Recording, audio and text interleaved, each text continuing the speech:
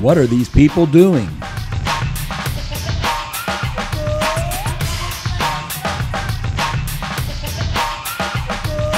Don't miss Houston Taught Us this week. We're coming to you with love.